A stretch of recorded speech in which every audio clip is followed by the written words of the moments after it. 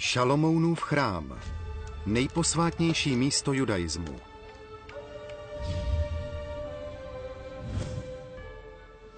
Šalomounův chrám byl korunním klenotem starověké historie.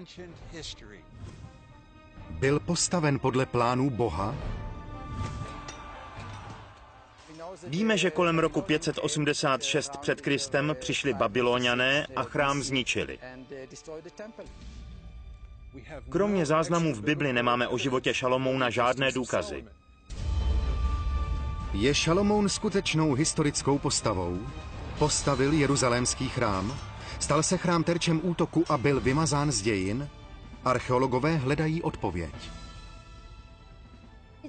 Bible popisuje chrám s pozoruhodnou realističností. Já mezi těmito vykopávkami a králem Šalomounem žádnou spojnici nevidím. Výzkum a víra jsou pro mě dvě velmi odlišné věci. Byl nejposvátnější židovský chrám skutečností nebo legendou?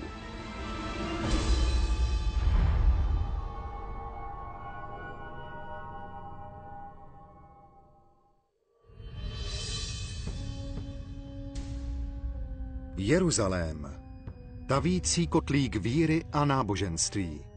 Za nejsvatější město na zemi ho považují mnozí. Sotva byste na zemi našli jiné město, kde se nachází tolik chrámů a svatých míst a které za posvátné považovali nejrůznější národy v průběhu celých tisíciletí. Nacházíme se v centru náboženského dění. Podle biblických učenců vystavěl Jeruzalém izraelský král David v desátém století před Kristem. Židé, kteří žili po generace kočovným životem, nyní konečně našli domov. Ale byl to až syn krále Davida Šalomoun, koho si Bůh vybral, aby vybudoval chrám. Úložiště té nejposvátnější ze všech židovských památek. Jedinečným dělala Šalomounův chrám právě přítomnost archy úmluvy.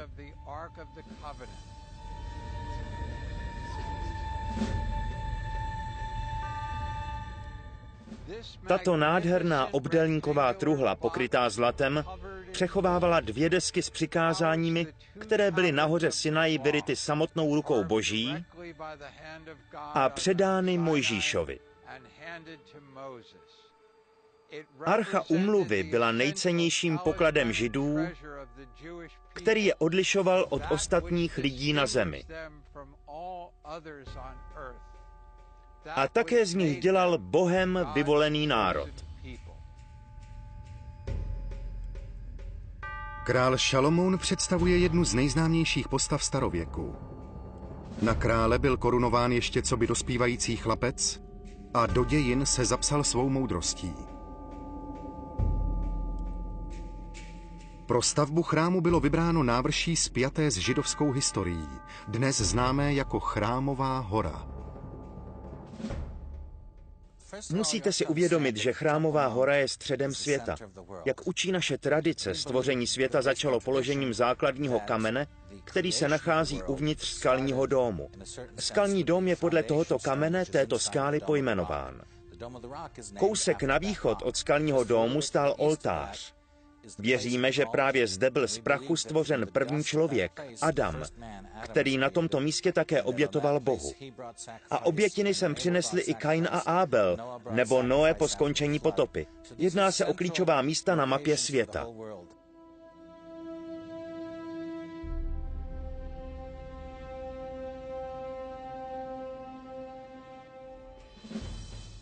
Traduje se, že se na Chrámové hoře nacházela Edenská zahrada. Na Chrámovou horu se podle božího příkazu vydal Abraham, aby obětoval Izáka. A na témže místě Šalomoun postavil svůj chrám. V první knize královské je Šalomounův chrám popsán poměrně podrobně. Dlouhý 60 loket, široký 20 a vysoký 30 loket. Šalomounův chrám se stal hospodinovým domem na zemi. Jakmile Šalomoun chrám postavil, už jsme nemohli obětovat na jiném místě. Muslimové mají Meku, Medínu a do třetice Jeruzalém. Ale my máme pouze Jeruzalém. Směrem k Jeruzalému se obracíme při modlitbách, k Jeruzalému se obracejí naše srdce, k Jeruzalému, ke chrámové hoře. Chrámová hora se stala duchovním centrem židů. Její odkaz se šířil rychle. Myslím, že chrámová hora představuje něco jako zmenšený model světa, protože náboženské praxi a místům spjatým s náboženstvím přisuzuje význam mnoho lidí. Ale dnes se nejposvátnější izraelská svatyně stává terčem kritiky. Někteří archeologové tvrdí, že chrám, král David i král Šalomoun možná patří jen do světa fikce. Někteří vědci si Šalomounův chrám představují jako ohromnou nádhernou stavbu, která připomíná aténský panteon nebo chrámy v horním Egyptě. Ale tak to nebylo. Pokud by se zakladatelé chrámu změnili v pouhé mýtické postavy, autoritě Bible by to mohlo uštědřit značnou ránu. A mělo by to vliv i na místní politickou situaci. Chrámová hora dnes představuje ohnisko sporu mezi Židy a muslimy. Nárokují si ji obě strany. Jedná se o ústřední zápas v historii. Zápas o Jeruzalém, jehož centrem je chrámová hora.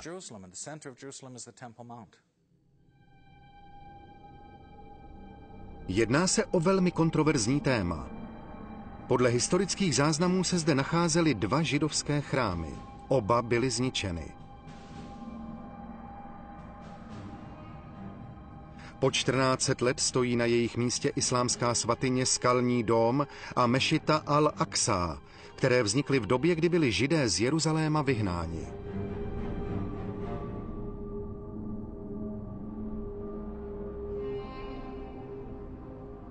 Ale archeologický výzkum na Chrámové hoře je zakázán.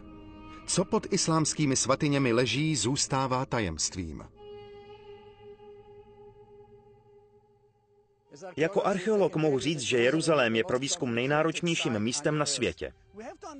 Provádět zde archeologický výzkum je složité. Leží zde jedna vrstva rozvalin na druhé, starší stavby byly přebudovány. Rozlišit, co je mýtus a co realita, je obtížné. Chrámová hora má rozlohu 145 tisíc čtverečních metrů. A já mohu směle říct, že se jedná o největší neproskoumané archeologické naleziště v Izraeli.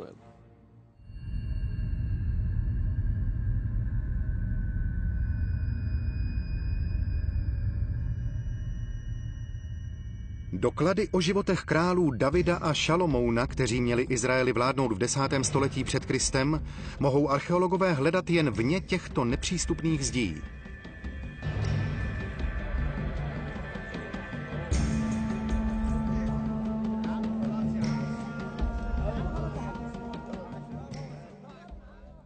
Pokud hovoříme o postavách biblického období, samozřejmě musíme začít králem Davidem.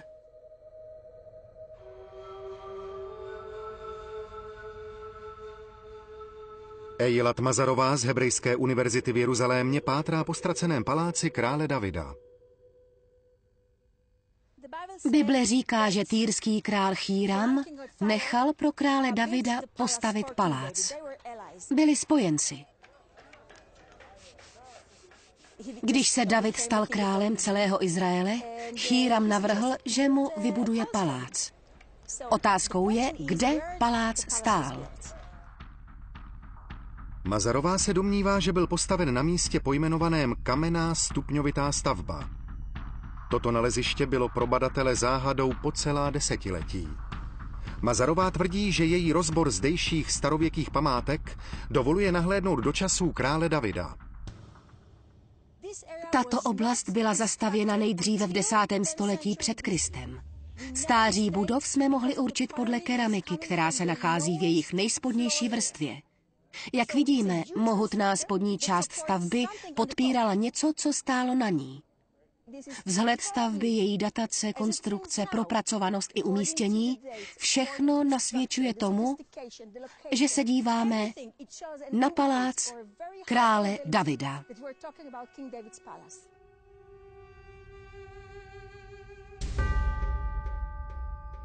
Archeologickém nalezišti Tel Den u severní hranice s Libanonem byl v 90. letech 20. století objeven starověký nápis, který krále Davida znovu přivádí k životu.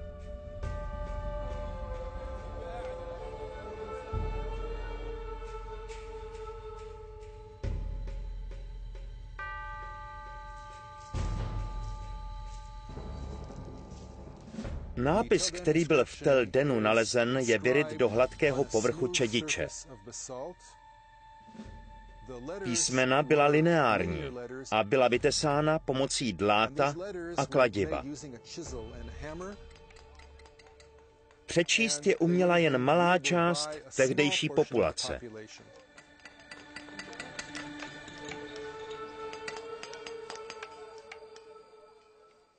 Ale nápis byl zjevně proveden tak, aby ho nepřehlédli lidé, kteří proudili do města a z města. Jinými slovy šlo o jakousi propagandu.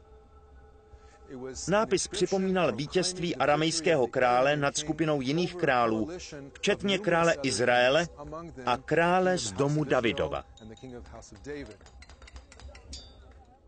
Archeolog David Ilan říká, že stéla z naleziště v Teldenu nabídla první skutečný doklad o životě krále Davida. Předtím, než byly jednotlivé části stély v letech 1992 až 1993 objeveny, mnoho lidí Davida považovalo za čistě mytologickou postavu.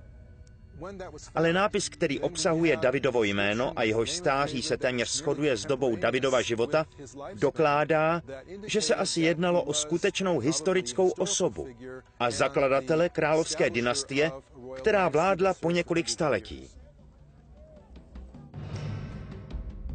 Další svědectví o Davidově životě objevil na okraji svatého města Betlém doktor Jossi Garfinkel.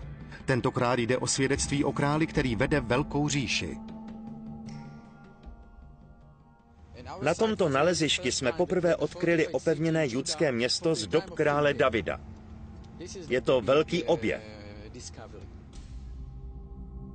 Místo se jmenuje Kirbet Kejafa a doktor Garfinkel je přesvědčen, že zbytky opevnění patřily ke ztracenému biblickému městu Šarajim.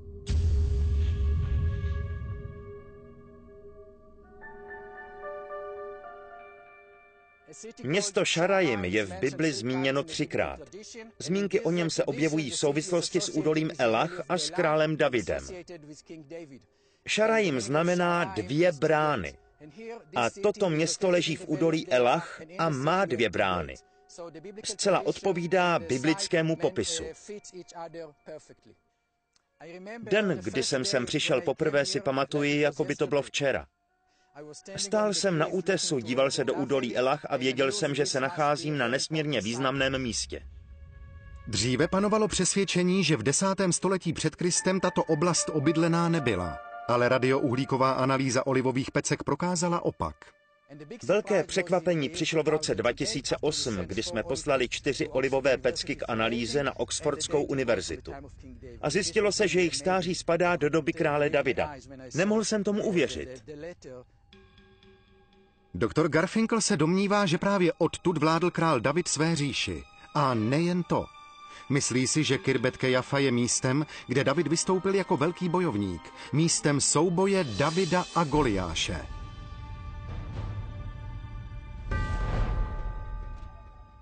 V Bibli se píše, že filištínští vytáhli do boje. Izraelští muži se Saulem stáli proti Filištínům. Obrovský filištínský zápasník Goliáš Izraelce vyzýval. Vyberte muže, který se mnou bude bojovat. Když vyhraje já, stanete se našimi otroky. A když vyhraje on, staneme se vašimi otroky my. Tak to šlo po 40 dní až se o Goliášově výzvě doslechl David a řekl, žádný strach, já se do boje s filištínským obrem přihlásím. David šel k řece. Sebral tam pět kamenů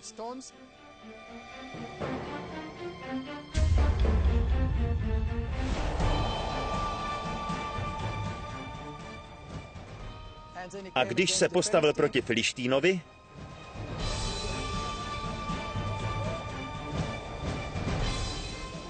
vzal kámen, mrštil s ním do jeho čela a na místě ho usmrtil. Ale jak podotýká doktor Ilan, tyto důkazy svědčí pouze o králi Davidovi, zatímco Šalomoun a jeho chrám jsou stále obestřeni záhadou. Možná Šalomoun skutečně žil, možná nežil. A pokud žil, postavil chrám, to je velká otázka.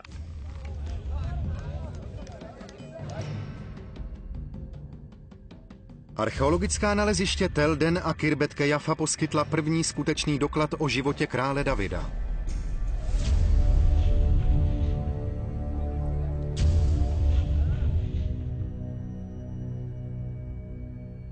Ale zatímco král David byl velký bojovník, hospodinův chrám postavil muž, který vyznával mír.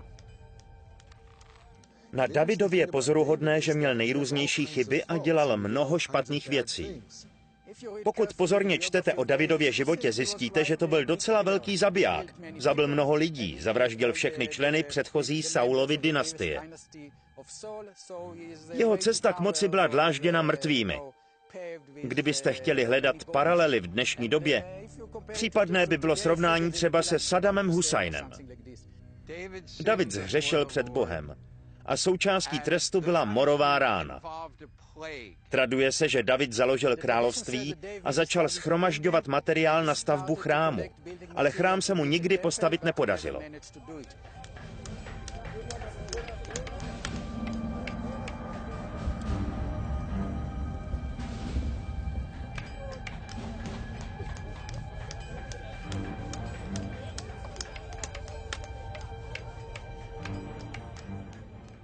Podle biblických textů byl za stavitele chrámu vybrán Šalomoun.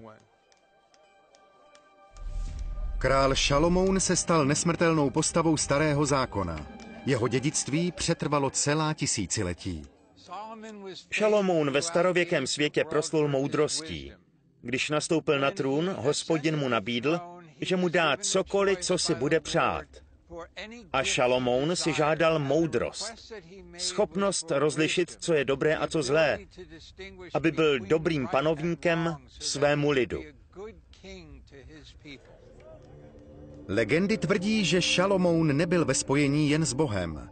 Získal nadpřirozené schopnosti, které mu měly pomoct při stavbě chrámu. Šalomoun je známý jako jeden z velkých mágů západního světa. Šalomoun měl pověst znalce magie. V arabské literatuře a obzvlášť v Koránu a v Tisíc a jedné noci se vypráví, že ovládal džiny. Uzavíral s nimi spojenectví a využíval je při stavbě chrámu.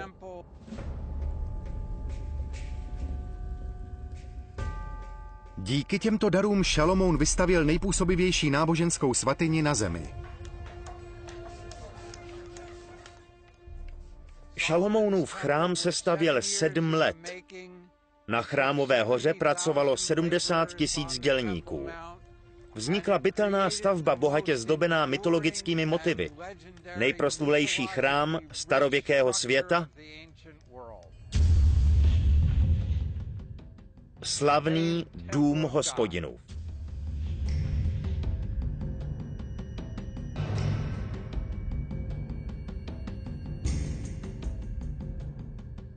Ale takový popis chrámu přisuzuje Bible.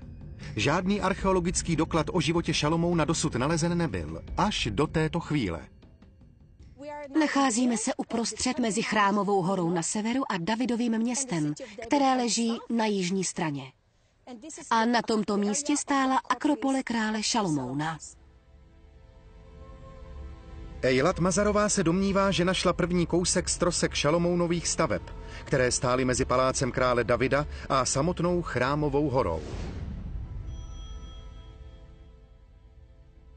Dnes víme, že tato část opevnění je datována až do druhé poloviny desátého století před Kristem. což přesně odpovídá době života krále Šalomouna a tomu, co říká Bible.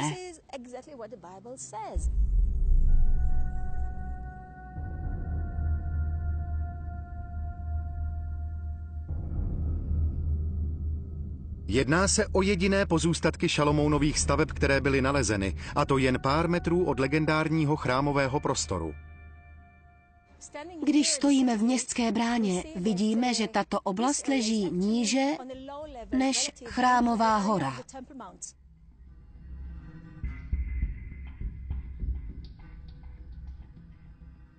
Aby se lidé ve starověku v období prvního chrámu dostali blíže k chrámu, který král Šalomoun postavil, museli udělat právě toto.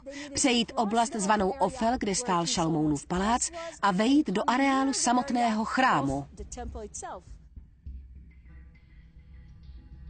Po celá desetiletí nikdo nevěděl, do jak daleké minulosti historie tohoto místa sahá. Ale Mazarová provedla rozbor nálezů keramiky, který ji přesvědčil, že stojíme na Prahu samotného chrámu.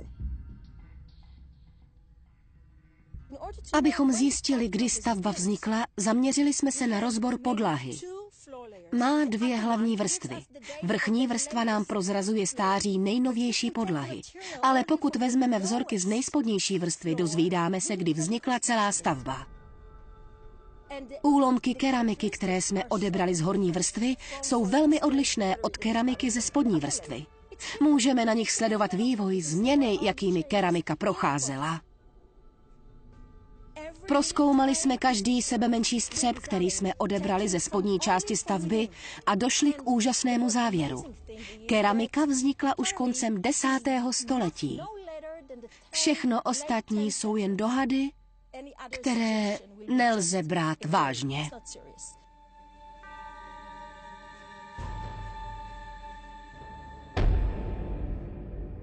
Archeologický výzkum je na Chrámové hoře zakázaný a archeologové, kteří hledají Šalomounův chrám, se nedostanou dále než k nalezišti Ofel, které zkoumá Mazarová. Ale přesvědčivý důkaz o existenci Šalomounova chrámu lze najít na jiném místě svaté země. Podle Davida Ilana ukrývá naleziště v Teldenu přibližnou repliku chrámu.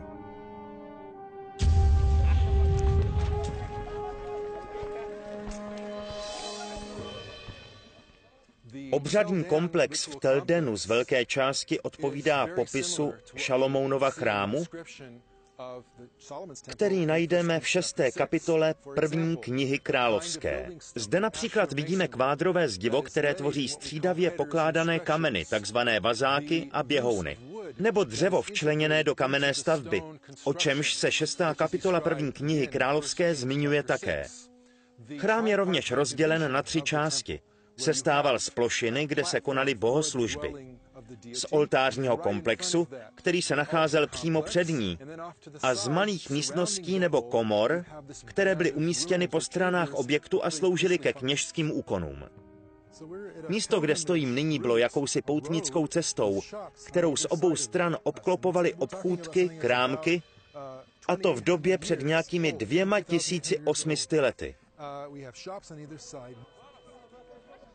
Poutníci přiváděli zvířata, která chtěli obětovat, nakupovali nebo uzavírali obchody. V Jeruzalémě byste se v okolí chrámu setkali s něčím podobným. Obchodování bylo všudy přítomné. Ale když se dostaneme hlouběji do města, postupně se nám odhalí více z kultovní náboženské stránky tohoto místa. Konečně narážíme na opuštěnou sakrální stavbu, která stojí na vrchní plošině. Možná právě takto vypadal Šalomounův chrám. Tento areál připomíná chrámovou horu.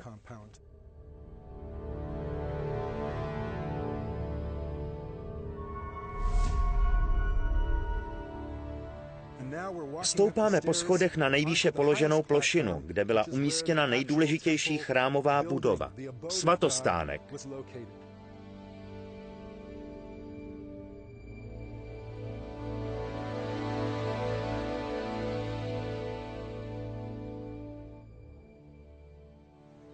Dříve bychom na takové místo nemohli, nahoru směli jen kněží.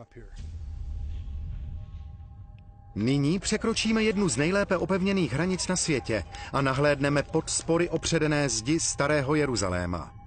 Nachází se zde základní kameny a stavební materiál z Šalomounova ztraceného chrámu? Šalomounův chrám byl samozřejmě postaven z kamene, ale kamenné zdi byly obložené cedrovými deskami z Libanonu. A cedrové desky byly následně pokryté zlatem. Mosas, bronz a měď pro Šalomounův chrám se odlévaly v Jerichu, v Jordánském údolí. Ostatní stavební materiál se přivážel z nejrůznějších konců země. Jednalo se o jeden z logisticky nejnáročnějších projektů v historii.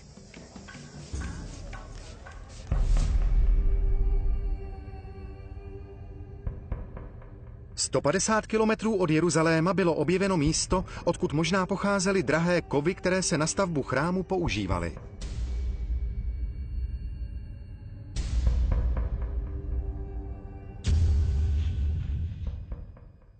Jsme v jižním Jordánsku v oblasti Finan, kde se nachází naleziště měděné rudy.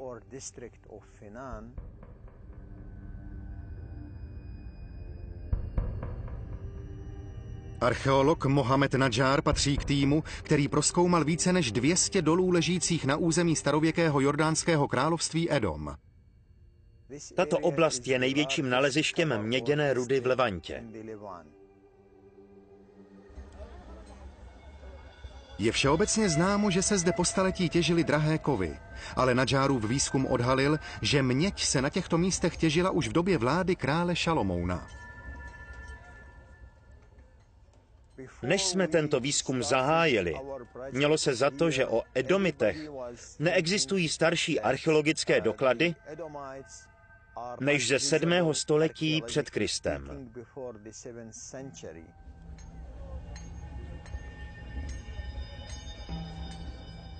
Dnes máme doklady o existenci rozsáhlé těžařské činnosti.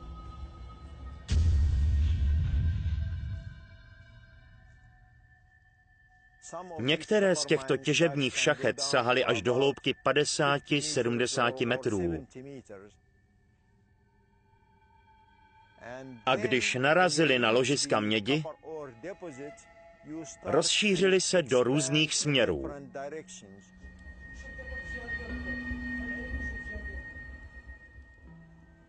Důlní dělníci ve starověku pracovali ve strašných podmínkách.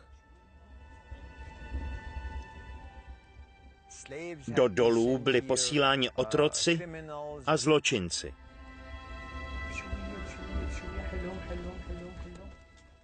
Dochovaly se důkazy, že někteří dělníci zůstávali uvnitř dolů celé měsíce.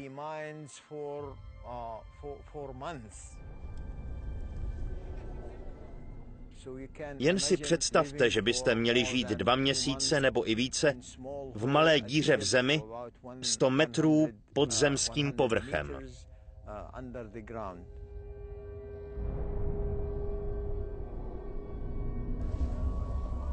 Pouhých pár kilometrů od dolů stály tavírny, kde se surový materiál měnil na opracovatelný kov. Nacházíme se na jednom z míst, kde tavicí práce probíhaly. Všude kolem vidíme odpadní produkt, strusku, produkt tavení mědi.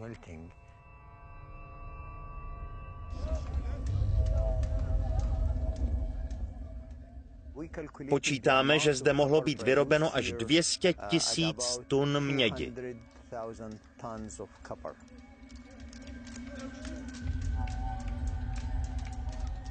Nadžár se domnívá, že doly ve Finanu mohou o Šalomounově chrámu lecos prozradit. Dochoval se nám popis chrámu. A víme, že chrám byl vyzdoben měděnými pláty a měděnými sloupy.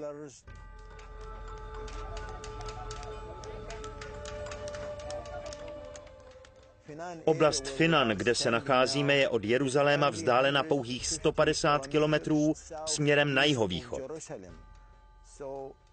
Dává docela smysl, že by se měď k chrámové výzdobě vyráběla právě tady.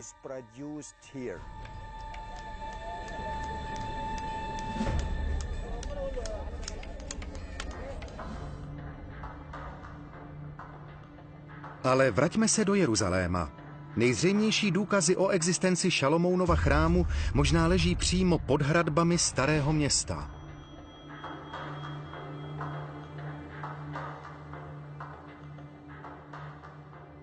Autor knih James Wasserman se studiem Šalomounova chrámu zabýval po více než pět let.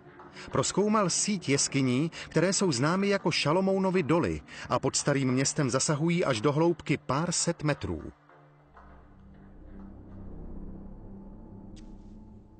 Jeskyně se rozbíhají do nejrůznějších směrů. Vytvářejí labirint a nikdo přesně neví, jakým způsobem byly vyhloubeny. Víme ovšem, že vznikaly v průběhu několika tisíciletí.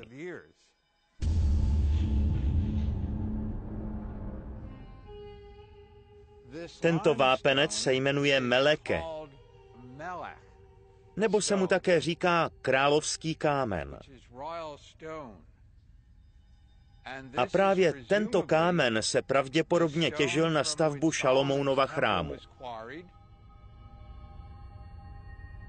Vosrmen zkoumá pozůstatky z dávných dob a snaží se odhalit, jaký stavební postup se před několika tisíci lety během stavby chrámu používal.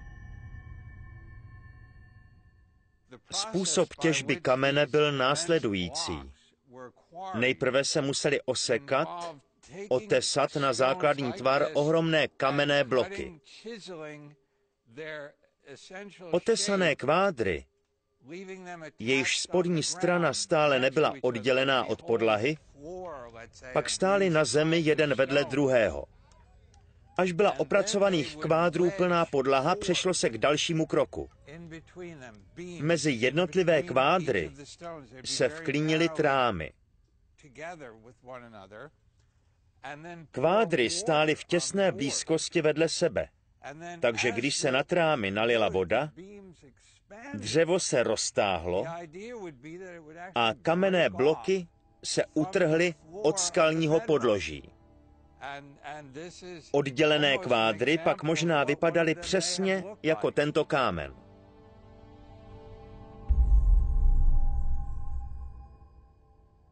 Množství kamenných bloků, které byly na stavbu použity, je téměř nepředstavitelné.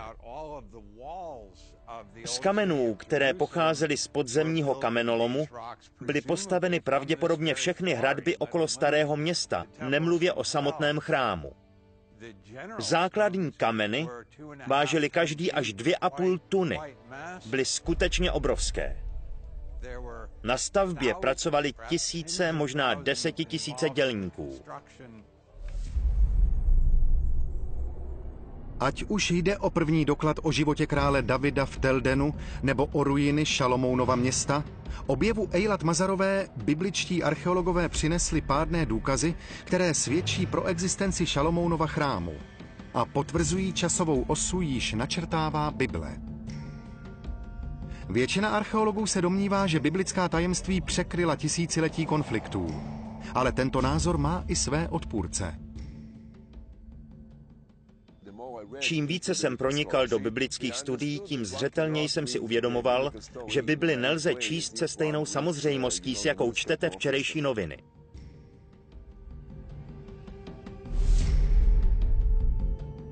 V archeologii se objevil nový přístup, který usiluje o přehodnocení minulosti Izraele.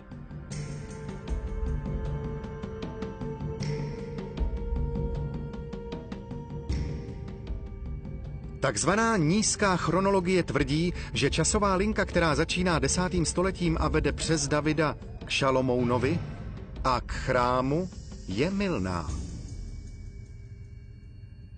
Otcem nové chronologie je doktor Israel Finkelstein. Profesor Israel Finkelstein působí na univerzitě v Tel Avivu a je jednou z vůdčích osobností minimalistické školy.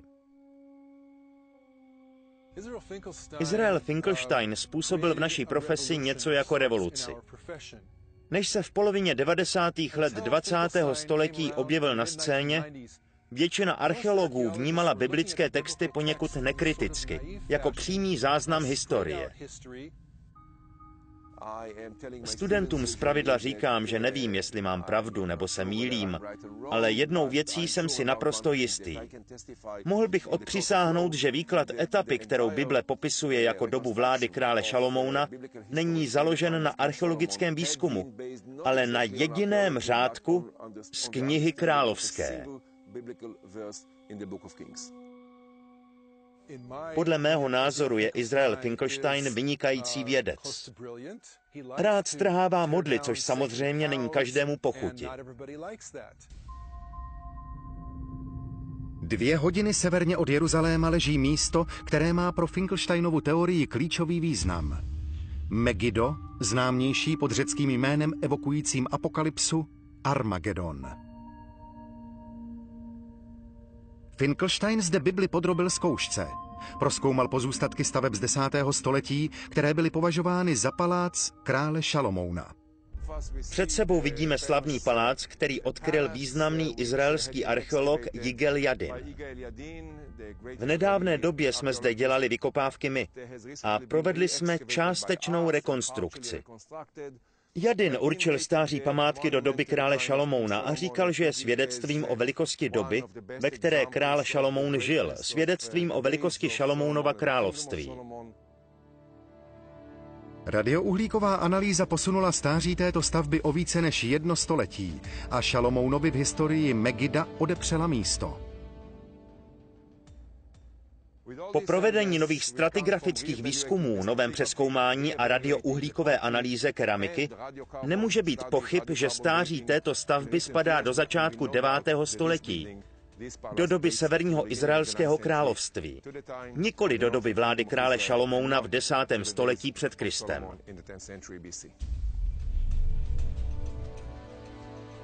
Doktor Finkelstein říká, že Megiddo je jen jedním z příkladů chybného pojetí archeologie, která spoléhá na Bibli jako na historicky přesný zdroj. Vědci se všeobecně shodují, že biblický příběh o Davidovi a Šalomounovi, jak ho známe dnes, byl zapsán až v 7. století před Kristem. Takže zhruba o tři století později, než Šalomoun žil. A během těchto tří století se příběh rozvíjel, rozšiřoval a rozrůstal podle potřeb jeho autorů, kteří ho upravovali jak po stránce ideové, tak po stránce faktické. Doktor Finkelstein archeologické nálezy, ke kterým v této oblasti došlo, spochybňuje. Včetně paláce krále Davida, objevu Eilat Mazarové. Neměla jsem žádnou podporu z akademických kruhů. Moji kolegové mé teorii nedůvěřovali. Nepodpořili ji.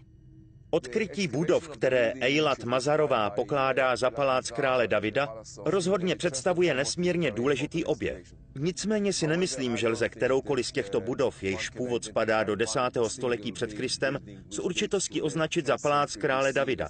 Domnívám se, že jde o budovy z 9. století a mezi nimi a dobou panování krále Davida souvislost nevidím.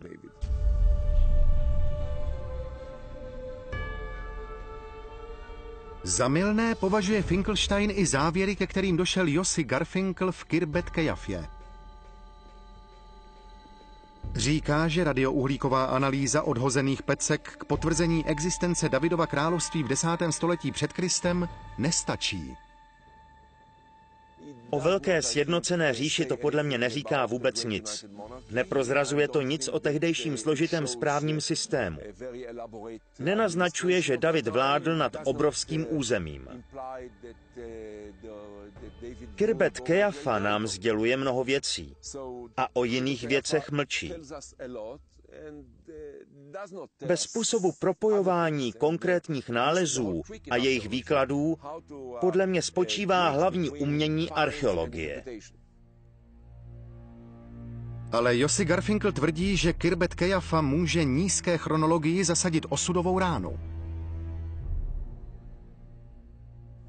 Teorii nízké chronologie můžeme vyvrátit.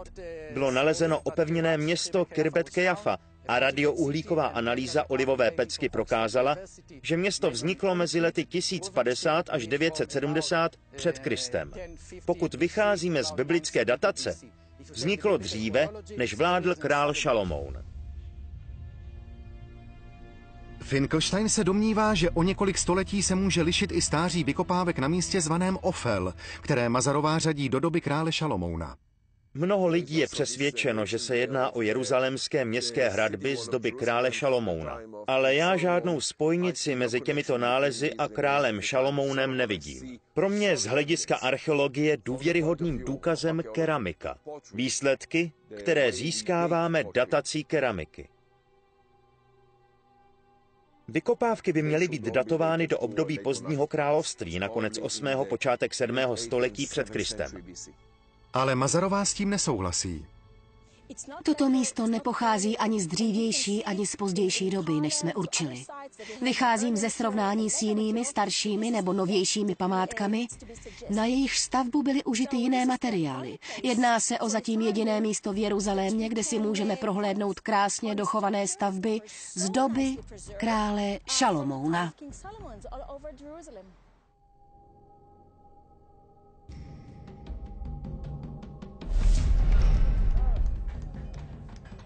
Zatímco se archeologové přou o existenci Šalomounovy říše, Bible popisuje její zánik. Král Šalomoun měl 700 manželek a 300 konkubín. Šalomounův chtíč rozhněval hospodina, který učinil konec jeho panování a seslal kledbu na Izrael. Další oblastí, v níž se Šalomoun proslavil, byly, řekněme, jeho osobní vztahy. Měl velký počet manželek a velký počet vztahů s cizinkami. Traduje se, že pro některé z těchto cizinek nechal vystavět chrámy a modly.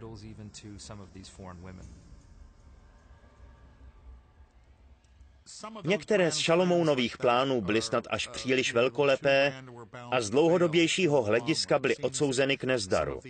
A ženy, které si Šalomoun přivedl, ho svedly na scestí. Když byl Šalomoun na vrcholu moci a vybudoval nejnádhernější chrám v historii lidstva, sešel z cesty.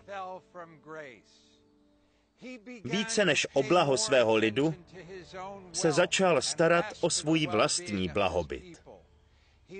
Toužil po mnoha ženách z cizích zemí a na Olivové hoře vystavil chrámy jejich bohům.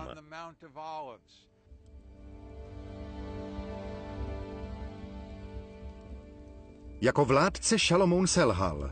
Jeho selhání mělo dalekosáhlé důsledky a vedlo k jedné z nejkrvavějších bitev v dějinách. Hospodin Šalomouna potrestal. Brzy po jeho smrti izraelské království rozdělila občanská válka.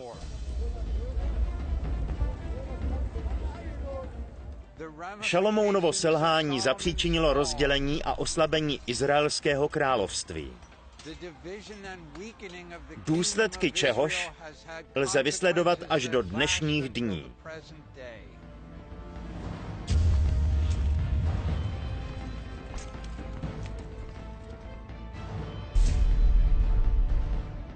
Šalomounovo království bylo rozděleno na dvě části a roku 586 před Kristem ho dobili babyloniané. Obléhání Jeruzaléma trvalo 30 měsíců. Musíme si uvědomit, že vzdát se Babylonianům znamenalo znásilňování, vyvražďování, vyhnanství. Kdo by něco takového chtěl? Izraelité se snažili bránit do poslední chvíle. Ale Babylonianům se nakonec podařilo prorazit městské hradby.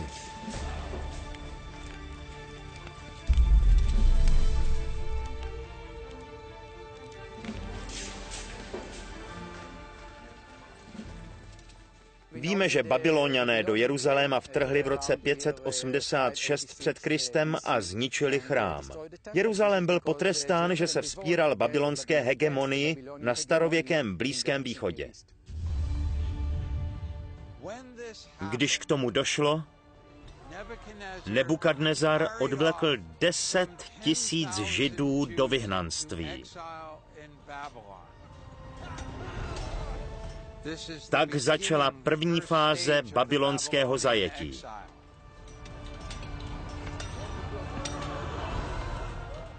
V roce 586 před Kristem armáda Nebukadnezara zcela obsadila Jeruzalém, zničila jeruzalémský chrám, vypálila domy, paláce, strhla městské hradby a co z Šalamounova chrámu zbylo, srovnala se zemí.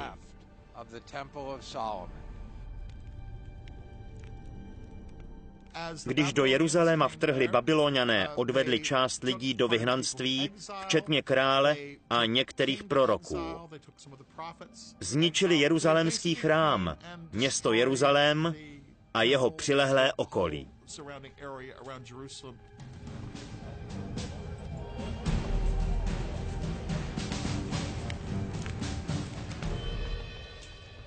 Židé byli ze své vlasti vyhnáni na 70 let. Vrátili se o několik desetiletí později, aby posvátný chrám židů znovu vybudovali. Tento druhý chrám, který později přestavěl Herodes, byl nazván také chrámem Ježíšovým.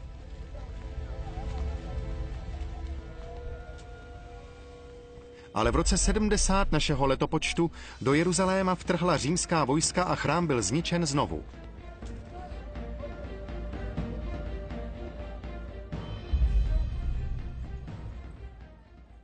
V roce 70 na chrámové hoře zuřila bitva.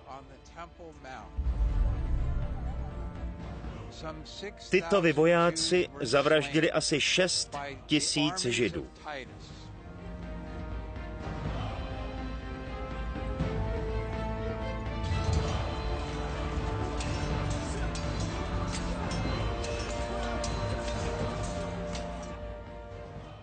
Když bylo po boji, římské legie zbourali a zničili Herodův chrám. Dnes si někteří židé myslí, že by měl být chrám opět vystavěn.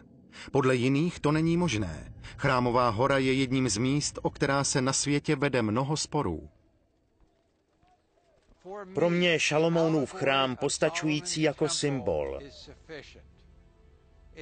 Pomáhá mi porozumět, že Bůh bude přebývat v chrámu mého srdce, pokud mu své srdce otevřu. Nový jeruzalemský chrám nepotřebujeme. Byla by to jen budova, místo bez většího významu. Chrám mě zajímá jako vědce, jako archeologa, ale žádné stavby ani oltáře dnes nejsou nutné. Ty patří minulosti. Někteří lidé si milně představují, že chrám byl místem, kde žil Bůh. Jako kdyby byl Bůh nějaká bytost, která potřebuje dům. Ale Bůh nic takového nepotřebuje. Bůh naplňuje celý vesmír, nemusí mít chrám. Všichni lidé na světě by se měli seznámit s židovskou tradicí a porozumět jí.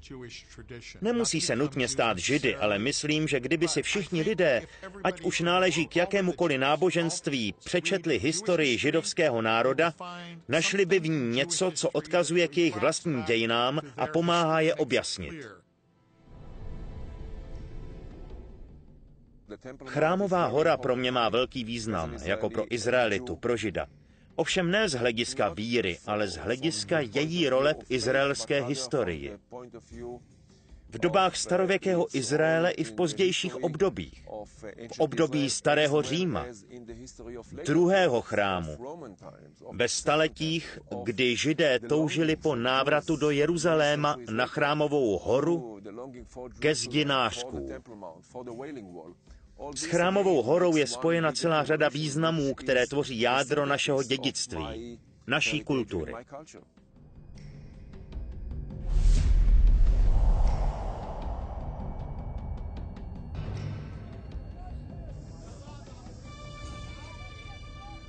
Od Davidova dobytí Jeruzaléma po Šalomounův pád,